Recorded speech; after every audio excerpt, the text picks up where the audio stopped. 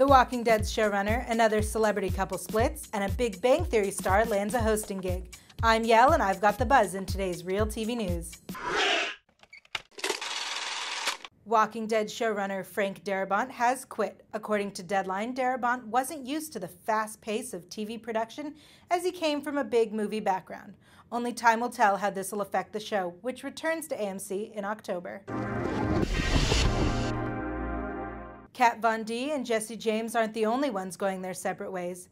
True Blood hottie Alexander Skarsgård and girlfriend Kate Bosworth have also split. Honestly, I'm doubting that any True Blood fans are going to be sad about this. The Big Bang Theory's Kaley Cuoco has been tapped to host the 2011 Teen Choice Awards on August 7th. Be sure to vote for your faves by August 5th at teenchoiceawards.com and check out the Teen Choice Awards edition of Sidereel's TV Showdown Facebook game.